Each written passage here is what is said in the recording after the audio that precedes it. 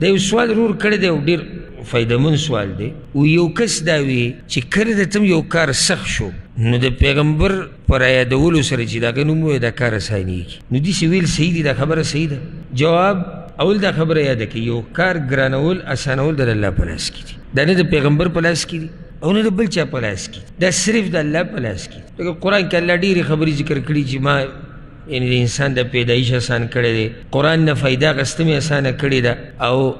موسی علیه السلام چې کله دعا غوښته او هغه ته دعوت له نو څه ووي وی قال رب اشرح لي صدري ويسر لي امري او زما خبره سکه اسانه پیغمبر صلی الله علیه وسلم په دعا غوښتلې ته کې دی امام ترمذی راوړی ده رب اعنی ولا تعین علی وانصرنی ولا تنصر علی وامکر لی ولا تمکر علی واهدنی ویسر الهدى لی ما ته نیغه لار وښایه او نیغه لار ما ته اسانه کا یعنې هغه په خپله الله ته وایي چې دا خبره ما ته څه کا اسانه کا او پیغمبر صلی الله علیه وسلم یو پیر یو ملګری رخصته په سفر باندې تو امام ترمذي روایت راوړی نو هغه وایي چې ای د الله پیغمبر زه سفر باندې ځم نو ما ته یو نصیحت وکړه چې هغه زه توخه وګرځوم ځان سره وی راته وی چې زودک الله التقوا تقوا دې الله ستا توخه وګرځي معنی چې تقوا لازم که په ځان وی ما ورته چې زیدني نور راته مو وایه وی چې وغفر ذنبک الله دې ستا ګناه وبخښي وی ما ورته چې زیدني بأبي انت و امي زما مور پلار دې په تا قرباني نور هم زیات کړه ځکه چې پیغمبر درته دعا کوي وی راته وی چې ویسر لك الخير حيث ما كنت چې کوم ځای کې الله دې ته د خیر کار اسان کړي الله دې ته اسان بله مسله بل دلیل کله چې موږ استخاره مونځ کوو نو په استخاره کې موږ وایو که نه چې الله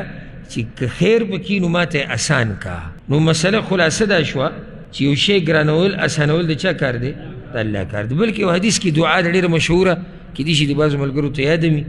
امام ابن حبان راوړي ده او صحیح دعا ده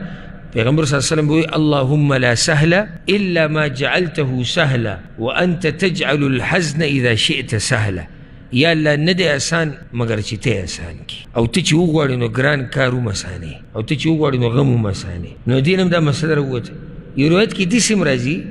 اثر کې عایشه رضی الله عنها وی وی د الله نه هر شی غواړي حتی الشسع تر دې چې د پیزارو د تسمم د الله نه غواړي فإن الله إن لم ييسره لم يتيسر وی ځکه که الله درته دا یو تسمه پیدا کول اسان نه کړو نو چېرته به پیدا نه کړي داسې لکه نه ده